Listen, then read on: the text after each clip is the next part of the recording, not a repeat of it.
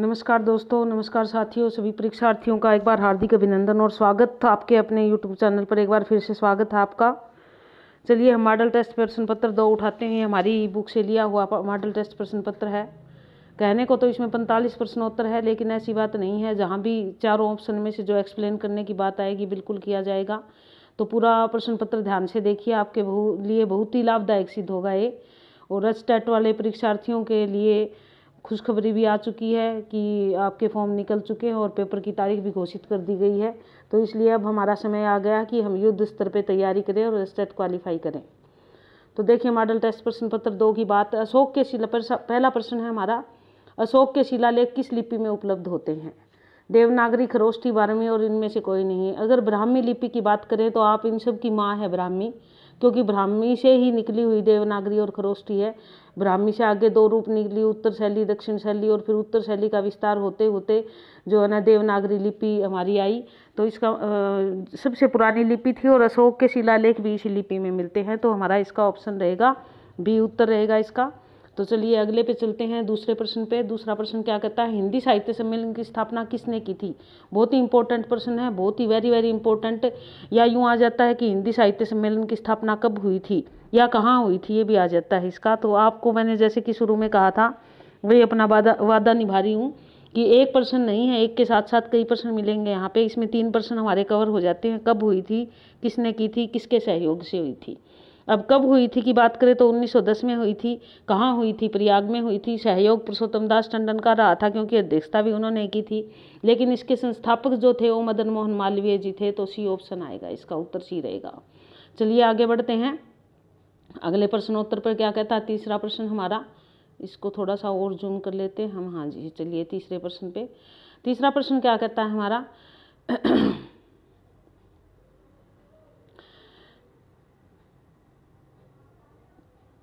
इनमें से कौन सी बिहार की, कौन सी बोली बिहार की नहीं है? बिहारी हिंदी के अंतर्गत सीधी सीधा प्रश्न अगर करे तो ये आएगा और नहीं तो हम बिहार की भी कह सकते हैं इसमें। यानी कि पूछी तो वही गई है, भोजपुरी, मैथिली मगही और छत्तीसगढ़ी। भोजपुरी मैथिली और मगही अगर इन तीनों की बात करें तो ये हमारी तीनों किसकी है? बिहारी हिंदी की है, एक नहीं है, छत्तीसगढ़ी, पूर्वी हिंदी की आ जाती है हमारी। तो इसमें उत्तर जो आपका क्या रहेगा? उत्तर रहेगा सी, छत्तीसगढ़ी। तीसरे का सी। उसके बाद चौथे प्रश्नोत्तर की बात कर लेते हैं हम। रचनाकाल की दृष्टि से आरोही क्रम में व्यवस्थित कीजिए। अब वही बात आ गई दोस्तों, देखिए इसमें चार प्रश्न है। आरोही क्रम में, यानी कि पहले कौन सी लिखी गई थी, बाद में कौन सी, और उसके बाद कौन सी, सबसे अंतिम कौन सी है। तो आप एक चीज़ का ध्यान रख लेना कि यदि इसमें से यदि हम बात करें तो साकेत सबसे नई रचना है। साकेत का जो रचना काल है हमारा, वो सबसे नया है। उन्नीस सौ इकतीस में साकेत लिखी गई थी। और अगर इन सभी को देखें तो सु पृथ्वीराज रासो सबसे पुराना है। तो हम क्या बात करें? कौन सा रहा होगा इसमें? तीसरा हमारा प्रश्न, ना, चौथा हमारा प्रश्न? इसका ऑप्शन क्या रहेगा? हमारा संदेश। पृथ्वीराज रासो से भी पहले का हमारा संदेश राशक। रासो, आसपास के ये, लेकिन सबसे पहले हैं संदेश राशक, फिर पृथ्वीराज रासो फिर सूरसागर भक्तिकालीन है और साकेत कालीन है। ये राशक जो है पृथ्वीराज रासो और संदेश राशक दोनों जो है, वो आदिकालीन है। रासो और सूरसागर भक्तिकालीन और साकेत आधुनिक कालीन है। तो ये हमारा कौन सा ऑप्शन रहेगा इसका? अगर इस दृष्टिकोण से देखें तो हमारा चौथे का रहेगा सी संदेश राशक की स्थापना जो है वो अब्दुल रहीम ने की थी। बहुत बार पूछा जाता है, ये भी किसने की थी? संदेश राशक की, ये भी थोड़ा ध्यान रख लेना आप। तो इसका ऑप्शन हमारा रहेगा सी ठीक है? उसके बाद आगे बढ़ते हैं, चलिए पाँचवें प्रश्न पे। भाषा योग वशिष्ठ के रचयिता कौन है? ये प्रश्न भी बहुत बार पूछा जाता है। भाषा योग वशिष्ठ किस रचना है। पांचवा प्रश्न हमारा, उत्तर जो है हमारा जानने से पहले हम देख ले सरदार राम फुलेरी ये हमारे कहानी राइटर सरदार राम फुलेरी, लाला लाजपत राय, हमारे स्वतंत्रता सेनानी राम प्रसाद निरंजनी प्राणचंद चौहान। प्राणचंद चौहान भी जो है कहानीकार। और अब बात आ जाती है राम प्रसाद निरंजनी की। पांचवा प्रश्न हमारा उत्तर यही रहेगा। राम प्रसाद निरंजनी ने भाषा योग वशिष्ठ लिखी थी। अगर आपने मेरा चैप्टर देखा होगा हिंदी भाषा और उसका विकास तो उसमें इसका ज़िक्र किया था। ना राम प्रसाद निरंजनी ने जो ना भाषा योग वशिष्ठ में खड़ी बोली का प्रयोग किया था। बी ऑप्शन जो है आपका आएगा। उसके बाद परीक्षा गुरु उपन्यास के लेखक बहुत इंपॉर्टेंट सारे ही प्रश्न इंपॉर्टेंट है दोस्तों ये। बहुत ही एक छांट छांट के प्रश्न उत्तर दिए गए हैं इसमें। परीक्षा गुरु उपन्यास के लेखक का नाम बताइए। परीक्षा गुरु जो हिंदी का पहला उपन्यास माना जाता है, उसके लेखक की बात है यहाँ पे। सरदाराम फुलेरी नहीं है, लाला श्रीनिवास दास है, बालकृष्ण भट्ट निबंध लेखककार के रूप में जाने जाते हैं। अयोध्या सिंह उपाध्याय आधुनिक लेखककार है, जिन्होंने कहानी भी लिखी है और जिन्होंने काव्य भी बहुत ज़्यादा लिखा है। तो श्रद्धाराम फुलेरी ना बी ऑप्शन रहेगा इनका लाला श्रीनिवास दास। तो चलिए जी, आगे बढ़ते हैं हम। सातवें प्रश्न पे। सातवां प्रश्न क्या कहता है हमारा? इनमें से कौन सी कहानी हिंदी की पहली कहानी मानी गई है? हिंदी की कहानियों का अगर ज़िक्र करें हम तो हिंदी की कहानियाँ इंदुमती की बात आती है यहाँ पे। Sorry, A option Indumati, B ग्यारह वर्ष का समय सी डुलाई वाली। और डी इनमें से कोई नहीं। अगर आपने हिंदी साहित्य का कहानी वाला प्रसंग पढ़ा होगा तो आपको याद होगा कि हमने ये कहानियाँ पढ़ी थी। अधिकतर लोग जो है इंदुमती को ही पहली कहानी मानते हैं। इंदुमती जो थी वो उन्नीस सौ में सरस्वती पत्रिका में प्रकाशित हुई थी, अगर आपको ध्यान है तो इंदुमती का तो इस प्रकार इंदुमती को पहली कहानी मानी जाती है। लेकिन ना, पहली कहानियों की ग्यारह वर्ष का समय 1903 में प्रकाशित हुई थी, जो रामचंद्र शुक्ल की थी, और दुलाई वाली जो नबंग महिला की थी, ये भी जो है उन्नीस सौ तीन चार कब, उन्नीस सौ सात, सॉरी 1907 में राजेंद्र बाला घोष जिनको बंग महिला जिनका मूल नाम है राजेंद्र बाला घोष, उनकी थी तो अगर इन सारी कहानियों को अगर हम करें तो सबसे पहले 1900 में इंदुमती प्रकाशित हुई थी और ये सरस्वती पत्रिका में प्रकाशित हुई थी इंदुमती। तो चलिए जी, आगे बढ़ते हैं। किशोरी लाल गोस्वामी की थी इंदुमती, ये भी ध्यान रखना आप, इनके लेखक का नाम। तो देखिए, एक साथ इसके एक, दो, तीन, चार, पाँच प्रश्न हो जाते हैं इसमें, क्योंकि एक एक प्रश्न जो हमारा हमारा काफ़ी इंपॉर्टेंट है, जैसे कि मैंने आपको पहले भी कहा था, इसका उत्तर तो ए रहेगा। पूर्वी हिंदी का विकास इनमें से किस अपभ्रंश में हुआ है? यानी कि पूर्वी हिंदी किस अपभ्रंश से निकली है? सोर सैनी, अर्ध मागधी, खस और मागधी। अगर हम बात करें पूर्वी हिंदी किससे निकली है? आठवां प्रश्न हमारा, और उत्तर इसका अर्ध मागधी से पूर्वी हिंदी निकली है तो ये ध्यान रखने की इसका बी ऑप्शन रहेगा। ये भाषा का चैप्टर मैंने पिछले कर लिया था थोड़ा अच्छे से तो अब इस पर हम ज़्यादा टाइम नहीं लगाएँगे, क्योंकि ये सारी बातें हमने पिछले मॉडल टेस्ट पेपर में बहुत अच्छे डिटेल से कर ली थी। चलिए आगे बढ़ते हैं। नौवा प्रश्न क्या कहता है? निम्न सूचियों को सम्मिलित कीजिए, लीजिए। अब आगे चार प्रश्न आपके इकट्ठे ही आगे कि किसने कौन सा सिद्धांत दिया? रस सिद्धांत। भरतमुनि की बात करें तो भरतमुनि का कौन सा है? रस सिद्धांत है। रस संप्रदाय, यानी कि ए जो है हमारा, वो इससे मिला देंगे हम दो से। उसके बाद भटनायक भटनायक की बात करें तो इन्होंने साधारणीकरण का सिद्धांत दिया, इनको तीन से मिला देंगे। उसके बाद आनंद वर्धन की यदि हम बात करें तो इन्होंने ध्वनि सिद्धांत दिया और यदि हम कुंतक की बात करें तो कुंतक ने क्या दिया है? वक्रोक्ति सिद्धांत या रीति सिद्धांत। अब देख लीजिए कौन सा दिया है। एक बार नीचे इसके कूट देख लेते हैं हम कौन कौन से हैं। कूट है इसके हमारे नौवे के। नौवा प्रश्न हमारा। पहले का कौन सा था हमारा? नौवा प्रश्न की यदि हम बात करें तो पहले का दूसरा था, बिल्कुल। दूस, फिर था तीसरा, पांचवा और फिर पहला। तो हमारा इसका नौवे का उत्तर रहेगा सी। पहले का कौन सा था? हमारा देख लेते हैं एक बार इसको। पहले का ए का दो। दो का ए। ये उल्टा है, इसको इसी तरह देखेंगे हम। जैसे यहाँ दे रखा है, एक बार देख लीजिए। दो, भरतमुनि ने कौन सा सिद्धांत दिया था? भरतमुनि ने दिया था ए का दो। ठीक है? उसके बाद भटना एक का साधारणीकरण, बी का तीन। ठीक है? उसके बाद आनंदवर्धन का ध्वनि संप्रदाय, ठीक है? और फिर तक का वक्रोक्ति, ये यहाँ पे आ जाएगा, ठीक है? उसके बाद देखिए, अब हमारा बनता है ए का तो बनता है दो, और बी का बनता है तीन, और सी का बनता है एक, और डी का बनता है पाँच। चलिए देखते हैं। हाँ जी, ये हमारा ए। ए का दो, एक में ही बन रहा है ए का दो तो ज़्यादा संशय की तो ज़रूरत है ही नहीं हमारा। ए का दो, बी का तीन, सी का पाँच और डी का एक। तो हमारा इसका उत्तर क्या रहेगा? सी उत्तर रहेगा। पाँच प्रश्न एक साथ हो जाते हैं। ये आप इस प्रकार याद कर सकते हैं। एक छोटी स्ट्रिक है इसको याद करने की। भैया हम कैसे याद करेंगे? भरतमुनि को तो आप जानते होंगे। भरतमुनि ने रस सिद्धांत दिया था।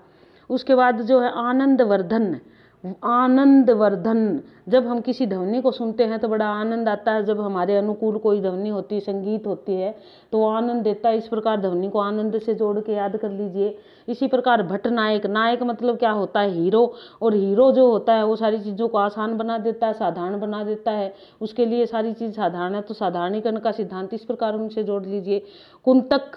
कुंतक क्या है हमारा? यदि कुंतक की बात करें तो हम कुन कुन तक कौन है पता ही नहीं है। वक्रोक्ति यानी कि टेढ़ा मेढ़ा कोई चीज़ लेके इस प्रकार इसको इससे जोड़ लीजिए, कौन तक भी जुड़ जाएगा हमारा।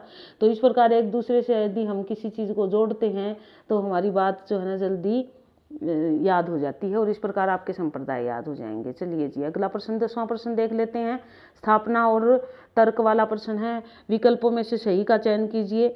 अब यहाँ पर यदि बात करें हम आचार्य रामचंद्र शुक्ल का इतिहास सन उन्नीस में लिखे जाने के कारण वर्तमान संदर्भ में धरा प्रतीत होता, फिर भी वह उपलब्ध इतिहास ग्रंथों से अद्वितीय है। तो आप दूसरी बात सोचे भी नहीं, पहले तो ये मान लो कि ये बिल्कुल ठीक है, पहला इसका, एक तो ठीक है।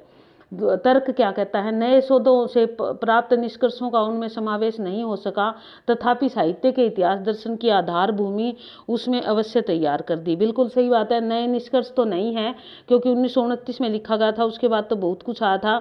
लेकिन फिर भी उसमें, उस हिंदी साहित्य के इतिहास में दर्शन की आधारभूत भूमिका बिल्कुल तैयार कर दी थी और इसी कारण वो आज भी मान्य है। तो ए और आर दोनों सही है इसके, और देख लीजिए कौन सा आएगा। ए और आर दोनों सही तो इसका उत्तर हमारा रहेगा, सी ऑप्शन रहेगा इसका। सी उत्तर। ए और आर दोनों सही है। ठीक है जी, आगे बढ़ते हैं अब। अगला देख लीजिए ग्यारहवा प्रश्न हमारा क्या कहता है?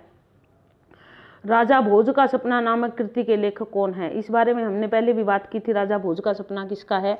लेकिन फिर एक बार बात कर लेते हैं। इन इंशाल्लाह खां, भारतेंदु हरिश्चंद्र शिव प्रसाद सितारे हिंद प्रताप नारायण मिश्र।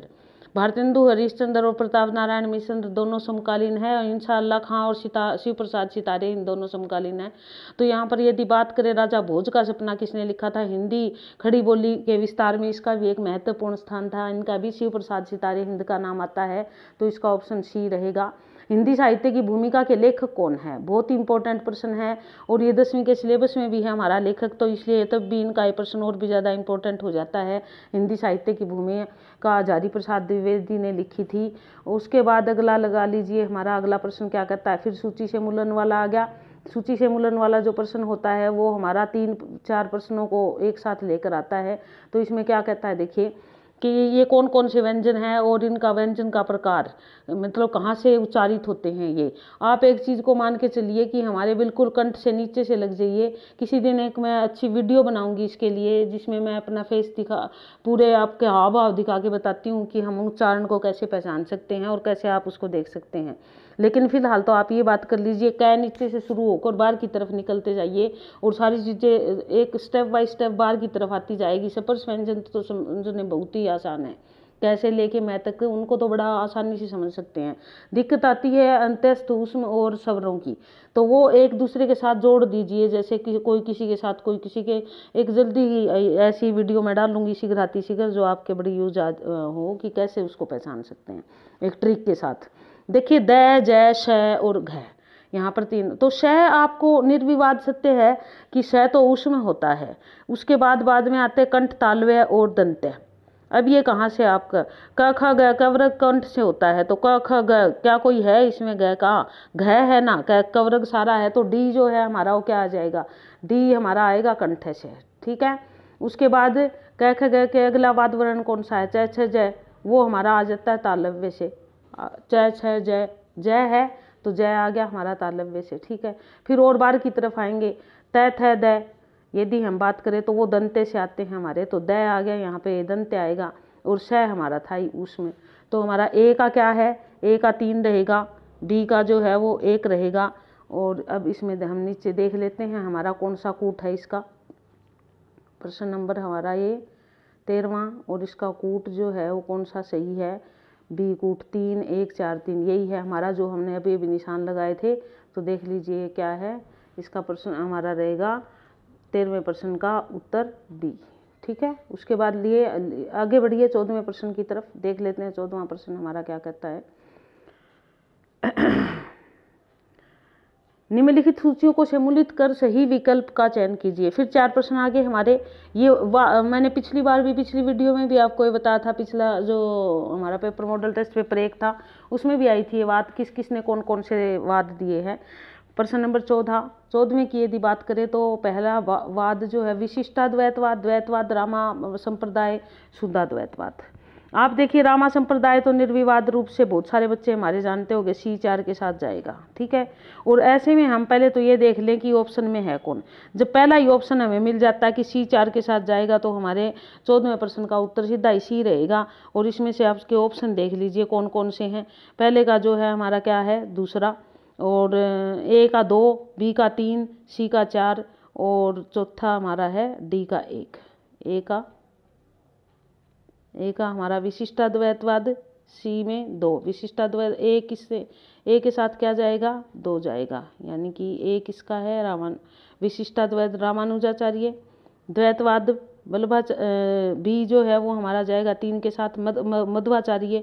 और इनके मध्वाचार्य जो थे वल्लभाचार्य इनके पिता यानी कि शुद्धा द्वैतवाद उन्होंने दिया था। द्वैतवाद और शुद्धा द्वैतवाद की तो मैंने कई बार बात की है तो और ये हमारा रामावतार है, वो रामानंद के साथ चला जाएगा। तो इसका प्रश्न चौदहवें का उत्तर क्या रहेगा? चौदहवें का उत्तर रहेगा सी। ठीक है पंद्रहवा प्रश्न।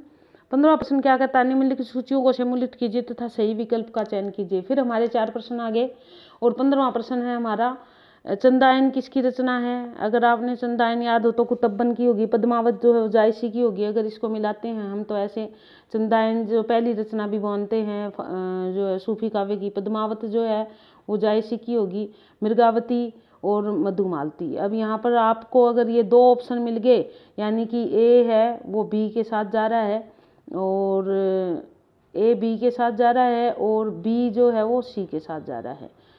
अब यहाँ पर दोनों ए और बी में दे दिए, नंबरिंग नहीं दे रखी तो इसको एक दो कर नहीं इधर भी दे रखी ठीक है। पहला जो है ए ए के साथ कौन सा गया है हमारा, देखिए। चंदायन कुतब्बन ए, बी के साथ। ए जो है वो बी के साथ यहाँ पे गया। तो इसका सीधा सा रहेगा कि इसका ऑप्शन दिया जाएगा, क्योंकि और किसी में तो बी है ही नहीं। जब ऐसे हो जाते हैं तो हमें ज़्यादा टाइम लगाने की आवश्यकता नहीं होती और हम उसको जल्दी से पहचान लेते हैं कि किसके साथ जाएगा। उसके बाद सोलवा प्रश्न देख लीजिए। हिंदी भी साहित्य बीसवीं सदी के लेखक इनमें से कौन है? बीसवीं सदी की बात करें, यानी कि बीसवीं सदी से अभिप्राय 1900 समथिंग 1901 से लेके बीसवीं सदी शुरू हो जाती है हमारी।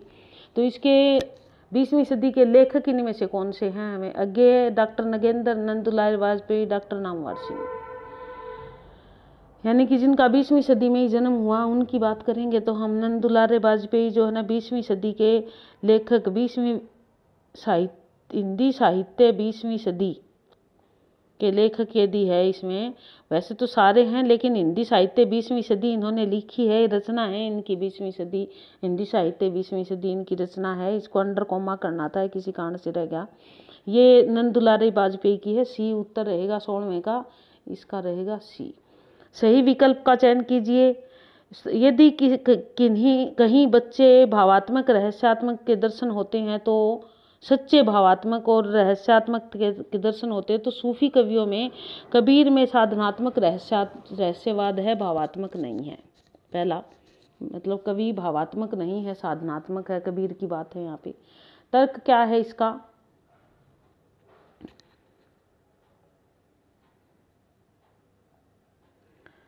कबीर के हठयोग पर नाथपंथियों का प्रभाव है। उनके हठयोग साधना से संबंधित पदों में साधनात्मक रहस्यात्मक है, भावात्मक नहीं है।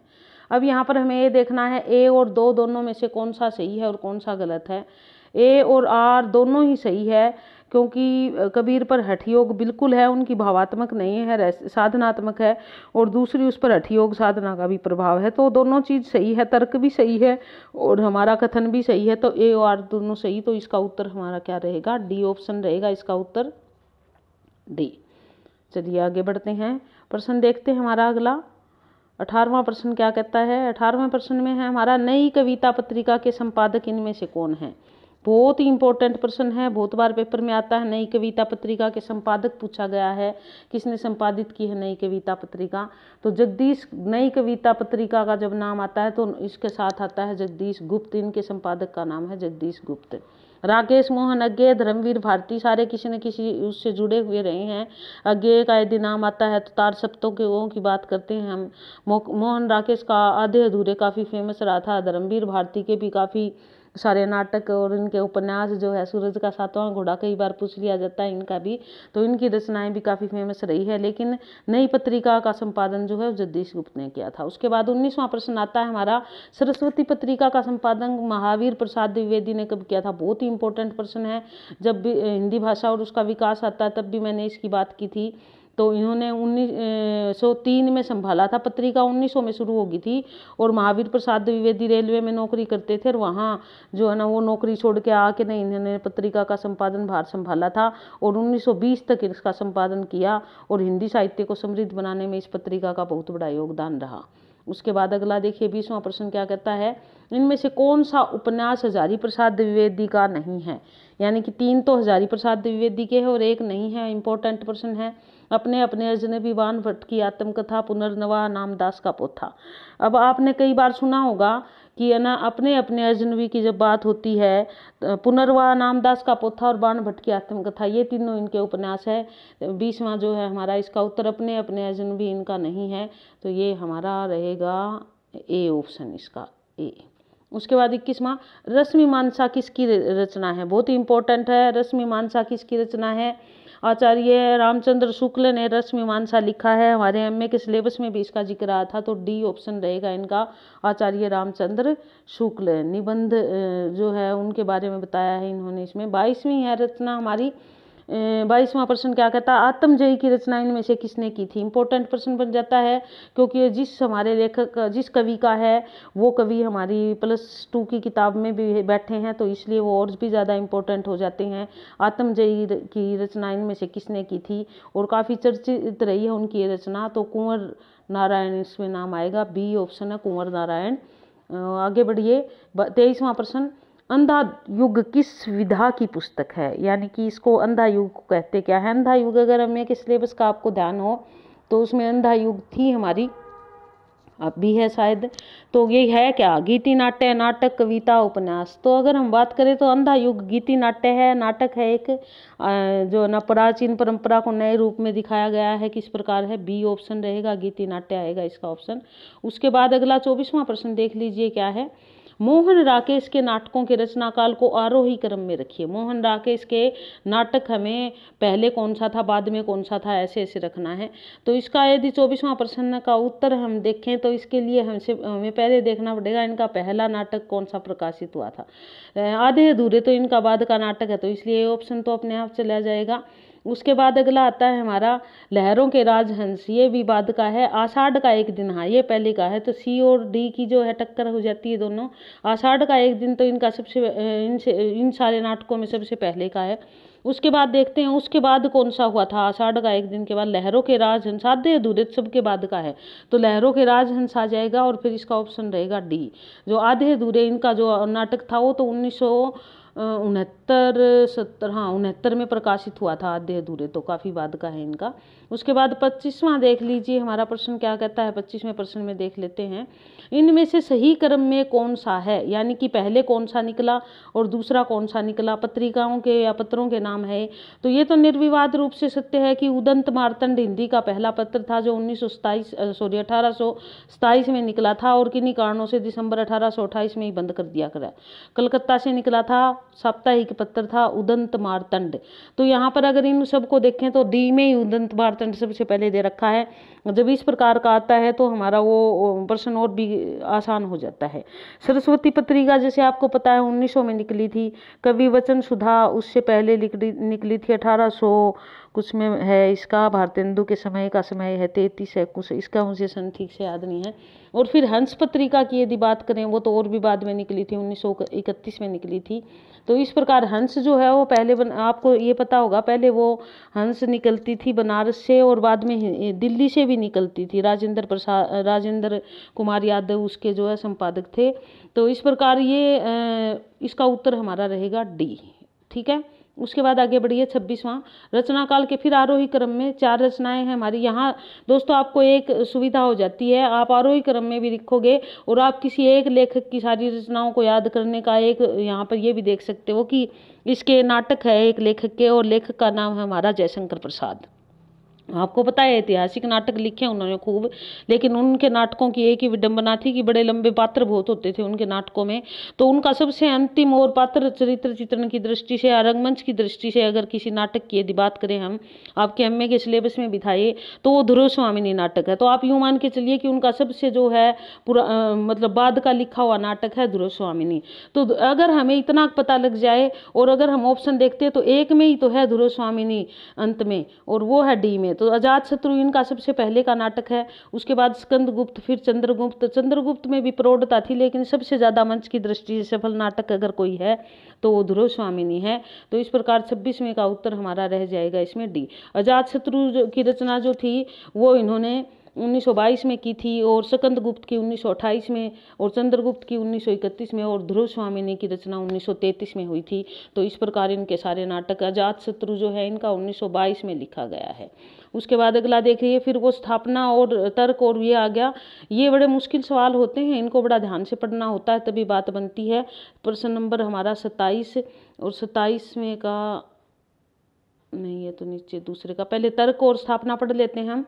प्रगतिशील कवि गांधी के नहीं मार्क्स के समर्थक थे, वे अहिंसा में नहीं, हिंसा में विश्वास करते थे। प्रगतिवादी काव्य में अहिंसा को नकारा गया है तथा समाज को हिंसा के लिए प्रेरित किया गया है। अब मुझे इसमें ए तो सही लग रहा है, लेकिन दूसरा सही नहीं लग रहा। हिंसा के लिए प्रेरित तो नहीं करते वो। अब अपने अधिकारों के प्रति लड़ना सिखाते हैं, लेकिन हिंसा के लिए प्रेरित नहीं करते। सत्ताईसवां जो है हमारा, इसका ऑप्शन यहाँ देखते हैं हम कौन सा है। सही, ए सही है और आर आंशिक सही है, वो मतलब उकसाते तो है लेकिन हिंसा के लिए नहीं उकसाते। तो इसलिए हमारा, मेरे हिसाब से तो यहाँ, आर बिल्कुल गलत तो नहीं, है आंशिक सही है तो सी उत्तर रहेगा, इसका उत्तर हमारा सत्ताईसवें का रहेगा, सी। उसके बाद अट्ठाईसवां प्रश्न देख लेते हैं, अट्ठाईसवां प्रश्न क्या कहता है? मैथिली गुप्त की निम्न रचनाओं को रचना काल के आरोही क्रम में लिखिए। यहाँ आपके लिए डबल वही है। चार गुना फ़ायदा है। एक तो चार रचनाएँ आप मैथिली शरण गुप्त की अच्छे से याद कर पाओगे। दूसरी ये याद कर पाओगे कि सबसे नई कौन सी है और सबसे पुरानी कौन सी है उनकी रचना। प्रश्न नंबर अट्ठाईस। यदि इन सब की बात करें साकेत यशोधरा, द्वापर तो इन सब में से जो है वो द्वापर सबसे नई रचना है इनकी। ये प्रगतिशील लेखक संघ की जिस साल स्थापना हुई थी, उसी साल प्रकाशित हुई थी, यानी कि उन्नीस सौ छत्तीस में। आप इस तरह एक चीज़ को दूसरी चीज़ से जोड़ के याद करोगे तो ज़्यादा याद रहेगी। तो यहाँ पर भारत भारती इनकी सबसे पहली रचना थी। भारत भारती उन्नीस सौ बारह, तेरह के बारह में हुई थी शायद हाँ बारह में भारत भारती उन्नीस सौ बारह में प्रकाशित हुई थी। साकेत जो है उन्नीस सौ इकतीस की है इनकी। यशोधरा उससे नेक्स्ट ईयर की, यानी कि उन्नीस सौ बत्तीस की है और द्वापर उन्नीस सौ छत्तीस में प्रकाशित हुई थी। तो इसका ऑप्शन रहेगा आपका अट्ठाईसवें का डी ऑप्शन रहेगा। आगे चलिए उनतीसवें प्रश्न को देख लेते हैं। क्या है उनतीसवें प्रश्नोत्तर में, इसका उत्तर क्या है? और प्रश्न क्या है? राम को रूप निहारी जानकी कंगन को नग की परछोही याते सबई सुधी भूले गई, कर टेक रही पर टारत नहीं। में कौन सा रस है? अगर आप रस की बात करो तो इसमें अगर आपको थोड़ी सी अवधि भाषा है यहाँ पे, राम को रूप निहारत जान की कंकन के नग की परछाही अगर आप इसका हिंदी रूपांतरण करके देखो तो अपने कंगनों के नगों में राम की परछाई देखकर उनके रूप सौंदर्य को निहार रही है। जब रति भाव आ जाता है हमारे कहीं भी तो ये रस की बात हो रही है मित्रों। रस की बात हो रही है तो हमें मूल भावों को याद करना, अगर मूल भाव हमें पता है, जो हमारे मूल भाव होते हैं हैं, यानी कि स्थायी भाव उनको अगर आप याद रखते हो तो रस आपके लिए बड़ा आसान हो जाएगा। और जब यहाँ रति का भाव आ रहा है तो निर्विवाद रूप से कौन सा रस आएगा? हमारा श्रृंगार रस आएगा, डी ऑप्शन रहेगा। गोस्वामी जी की भक्ति पद्धति की सबसे बड़ी विशेषता है उसकी सर्वांग पूर्णता, यह कथन किसका है? यानी कि किस आलोचक ने यह कथन कहा है? गोस्वामी तुलसीदास जी के बारे में तीसरा, तीसवां प्रश्न हमारा नंद दुलाराई वाजपेयी आचार्य रामचंद्र शुक्ल जी इस प्रकार के तर्क देने में फ़ेमस रहे हैं। तो ये डी जो ऑप्शन है, ये उनकी सर्वांग निरूपण गोस्वामी जी के बारे में उन्होंने आचार्य रामचंद्र शुक्ल जी ने लिखा है। फिर हमारा इकतीसवां प्रश्न है, इकतीसवें प्रश्न में देख लेते हैं क्या है। साधारणीकरण की प्रक्रिया में मधुमती भूमिका की चर्चा किसने की थी? साधारी साधारणीकरण, अगर आपको भारतीय काव्य सिद्धांत की बात है तो साधारणीकरण भी याद होगा। उसमें मधुमती भूमिका की चर्चा किसने की थी? इकतीसवां प्रश्न हमारा। श्याम सुंदर दास, रामचंद्र शुक्ल, नागेंद्र और, नगेंद्र और विश्वनाथ। तो मधुमती की भूमिका की चर्चा जो है, यहाँ पे श्याम सुंदर दास ने की थी। इकतीसवें का ऑप्शन हमारा रहेगा ए। उसके बाद बत्तीसवें पे बढ़ते हैं।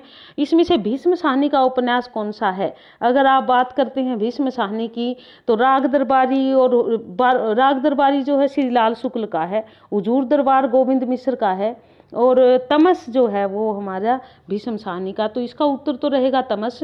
तमस जो है वो भारत की जो, भारत पाकिस्तान का बंटवारा हुआ था उस पर और इस पर एक फ़िल्म भी बनी है, एक नाट्य रूपांतरण भी हुआ था इसका तमस का। तो ये भीष्म साहनी जी ने बड़ा सुंदर तरीके से, क्योंकि उन्होंने खुद भोगा था और उसी को लिखा था, और अमृत और विष अमृत लाल नागर की रचना है। तो ये ध्यान देना आप, ये चारों रचनाएँ अलग अलग यानी कि इसका उत्तर हमारा रहेगा तमस। चार प्रश्न हो गए, इसमें अगर आपने ध्यान दिया हो तो। तैतीसवां प्रश्न देख लेते हैं। इनमें से किस काव्य ग्रंथ में कामाध्याय की चर्चा हुई है? कामाध्याय अंधा युग कामायनी, आत्मजयी और उर्वशी। अगर कामाध्यात्म की अध्यात्म कामाध्यात्म क्या है, उसकी यदि बात करें तो हम कुछ बच्चे इसमें कामायनी का भी बात करेंगे, शायद तैतीसवां प्रश्न हमारा। लेकिन ध्यान रखना, कामायनी पूर्ण रूप से कामाध्यात्म नहीं है। अगर कामाध्यात्म की बात करते हैं तो पुरुर्वा और उर्वशी जो है, इसमें है हमारा उर्वशी का तीसरा सर्ग, हमारे एम के सिलेबस में भी था, तब पढ़ा होगा आपने तो ये उर्वशी बी ऑप्शन आएगा इसका। उसके बाद है अगला, निम्नलिखित सूचियों को सम्मिलित कीजिए। सूची सम्मूलन का देख लेते हैं हम क्या कहे इसमें। सूची एक और सूची दो। पहला क्या कहता है? कुरु कुरु स्वाहा किसकी रचना है? पचपन खंबे, लाल दीवारें, चाक और महाभोज। तो आप देखिए, महाभोज की यदि बात करते हैं हम, प्रश्न नंबर चौंतीस। चौंतीसवां प्रश्न हमारा, और इसका उत्तर अगर यदि हम बात करें तो इसके ऑप्शन अच्छा जी, आगे है। चलो, अब यहाँ पर महाभोज मनु भंडारी की रचना है। और पचपन खंबे लाल दीवार, चाक, महाभोज, महा, चाक, ये मनोहर श्याम जोशी, यानी कि ऑप्शन देख ले और ये रहेगा बी इसका ऑप्शन है हमारा उत्तर इसका बी एक मिनट ये देख लीजिए बी ऑप्शन रहेगा इसका, चौंतीसवें का, यानी कि बड़ा मोबाइल पे पढ़ाना बड़ा मुश्किल काम है। ए जो है, उसका चार और बी का ए ए का चार, बी का ए। कुरु कुरु स्वाह मनोहर श्याम जोशी, ए का चार, ठीक है। पचपन खम्बे लाल दीवार उषा प्रियमवदा और महाभोज मनु भंडारी, चाक मनोहर श्याम जोशी, ये इस प्रकार करके हमारी मिल जाएगी और इसका ऑप्शन हमारा चौंतीसवें का रहेगा पी। ये हमारा आ गया चौंतीसवां प्रश्न और इसका उत्तर है हमारा बी। ठीक है? पैंतीसवें का देख लीजिए। रास पंचाध्यायी के रचयिता कौन है? रास पंचाध्यायी किसने लिखी? पैंतीसवें प्रश्न की यदि बात करें हम तो इसका भी बड़ा ज़िक्र आया है। पहले भी आया है। नंददास की है रास पंचाध्यायी, जिसका ज़िक्र काफ़ी बार होता है ये इंपॉर्टेंट रचना भी है। सी ऑप्शन रहेगा पैंतीसवें का। उसके बाद छत्तीसवां प्रश्न देख लीजिए। छत्तीसवें प्रश्न का क्या है? निम्नलिखित सूचियों को सम्मिलित कीजिए और सही विकल्प का चयन कीजिए। फिर से मूल्यन चार प्रश्न फिर आगे। ये प्रश्न शायद हमारा पहले भी आ लिया, नहीं भी आया है तो फिर से देख लेते हैं। गौड़ीय संप्रदाय चैतन्य महाप्रभु, चार का, अगर इसको हम ऐसे करके देखें तो ये हमारा चैतन्य महाप्रभु का जो है, वो गौड़ीय संप्रदाय है। विशिष्टाद्वाद रामानुजाचार्य का है, ये हमारा यहाँ आ जाएगा। शुद्धाद्वैतवाद है, जो वो बल्भाचार्य का है, और द्वैतवाद जो है, वो मध्वाचार्य का है, ऐसे आ जाएगा हमारा इसका ऑप्शन। तो ए को यदि हम ले तो सी और बी को ले तो नहीं सॉरी ए को अगर हम विशिष्टाद्वैतवाद रामानुजाचार्य ए का बी और दो का सी। अब देखते हैं, ए का बी और दो का सी कौन सा है? ए का बी, दो का सी, इसका उत्तर हमारा रहेगा छत्तीसवें प्रश्न का डी। डी ऑप्शन आ जाएगा इसका उत्तर, ये देखिए, ये है। उसके बाद अगला देख लीजिए। भक्तन को कहाँ सीकरी सो काम यह पंक्ति किस कवि की है? बहुत इंपॉर्टेंट पंक्ति है भक्तन को कहाँ सीकरी सो काम? सैंतीसवां प्रश्न हमारा। और इसका ऑप्शन किसकी है ये? ये है कुंभन दास की। सी ऑप्शन आएगा इसका। भक्तिकालीन कवि हमारे। जहांगीर जसचंद्रिका के रचयिता कौन है? बहुत ही इंपॉर्टेंट है। जहांगीर जसचंद्रिका कई बार पूछी जाती है किसकी है। जहांगीर जसचंद्रिका का यदि हम ज़िक्र करें तो केशव की रचना है। रीतिकालीन कवि है हमारे उसके बाद अगला प्रश्न देख लीजिए, इनमें से कौन सा ग्रंथ लक्षण ग्रंथ नहीं है? जो रीतिकाल में लिखे गए थे लक्षण ग्रंथों की विनय पत्रिका, कवि प्रिया, रामचंद्रिका भंवर गीत थर्टी नाइन परसेंट हमारा। तो यहाँ पर विनय पत्रिका भी एक लक्षण ग्रंथ है। रामचंद्रिका तो है ही पूर्ण रूप से लक्षण ग्रंथ, यानी कि वो तो उसको तो जो है वो इसका छंदों का अजायब घर भी कहा जाता है रामचंद्रिका को तो। तो उनतालीसवें का प्रश्न, कवि प्रिया जो है, वो लक्षण ग्रंथ नहीं है, सी ऑप्शन रहेगा उनतालीसवें का। चौरासी वैष्णव की वार्ता के लेख किन में से कौन से? जब हिंदी विकास की बात आती थी, चौरासी वैष्णव की बात भी आई थी, और इनके, इसके लेखक का नाम जो है, वो है गुसाई गोकुलनाथ, यानी कि डी ऑप्शन रहेगा इसका। गुसाई गोकुलनाथ ने लिखी थी चौरासी वैष्णव की वार्ता, जिसको हिंदी साहित्य के इतिहास की भूमिका में हम याद करते हैं। कि उन्होंने भी जो है ना चौरासी वैष्णवों का ज़िक्र किया था, उनको यहाँ पे संग्रहित किया था। तब इसकी थोड़ी बात करते हैं हम इसको उसके बाद इकतालीसवां प्रश्न, गोरा बादल की कथा के रचयिता कौन थे? गोरा बादल की कथा किसने लिखी थी? तो इसमें जो है हमारा, यदि हम ऑप्शन देखें इकतालीसवें का तो जायसी गंग कवि रोड़ा जटमल। इकतालीस का इकतालीस का ऑप्शन हमारा जट गोरा बादल की कथा को इसने लिखी थी। तो ये इस इस रचना के लेखक का नाम है जटमल। उसके बाद है व्यंगार्थ कौमुदी, किस रीतिकालीन कवि की रचना है? बयालीसवां हमारा। तो रसलीन की, पद्माकर की, मतीराम की, व्यंगार्थ कौमुदी प्रताप सिंह, यानी कि उसका बयालीसवें का ऑप्शन डी रहेगा। ये है हमारा इसका ऑप्शन, प्रताप सिंह। उसके बाद शेक्सपियर के नाटक मर्चेंट ऑफ़ वेनिस का हिंदी अनुवाद बहुत इंपॉर्टेंट है। कई बार ये पूछ लिया जाता है मर्चेंट ऑफ़ वेनिस किस नाम से किया गया या यूँ आ जाता है, किसने किया? इस तरह करके तो तिरतालीसवें का ऑप्शन रहेगा हमारा। उसको दुर्लभ बंधु मर्चेंट ऑफ़ वेनिस दुर्लभ बंधु के नाम से उन्होंने इस नाटक का हिंदी रूपांतरण किया था। भारतेंदु हरीशचंद्र जी ने जो है ना, लगभग नौ, आठ, नौ के करीब तो इनके मूल नाटक है और इतने ही इन्होंने जो है, नौ दस के करीब इन्होंने अनुवादित है इनके। तो उसके बाद अगला है हमारा चौवालीसवां प्रश्न सो जान एक सुजान के रचयिता का नाम बताइए। ये भी बहुत इंपॉर्टेंट है, सो जान एक सुजान के रचयिता कौन है? तो बालकृष्ण भट्ट ने लिखा था, सो जान एक सुजान, इसका ऑप्शन रहेगा हमारा बालकृष्ण भट्ट, सी ऑप्शन और अंतिम पैंतालीसवें प्रश्न की तरफ़ बढ़ते हैं। साधारणीकरण सिद्धांत का आविष्कर्ता किसे माना जाता है? मैंने थोड़ी देर पहले ही आपको बताया था कि साधारण बात कौन करता है? भट्ट लोलट का है उत्पत्तिवाद। और भटनायक का साधारणीकरण। आचार्य विश्वनाथ ने धवनी संप्रदाय को ही पोषित किया था, उनको ही इनको अनुमोदित किया था। और अब यहाँ पर यदि हम बात करते हैं तो भटनायक साधारणीकरण, यानी कि भटनायक भी ऑप्शन रहेगा। तो इस प्रकार ये हमारे वीडियो उम्मीद आपको पसंद आई होगी। और देखते रहिए, जिन बच्चों ने लाइक नहीं किया, वो लाइक करें शेयर करें, अपने आसपास औरों को भी भेजें ताकि उनको इसका फ़ायदा हो सके। और भी एक बात और कहना चाहूँगी आपको कि हमारी ई बुक है, जो स्टोर पे भी उपलब्ध है और मेल द्वारा भी आप मंगवा सकते हैं। उसमें जो न बड़े अच्छे अच्छे टॉपिक को छांट के अच्छे से प्रस्तुत किया गया है, आपके लिए बड़ी उपयोगी होगी। तो वीडियो देखने के लिए धन्यवाद। जय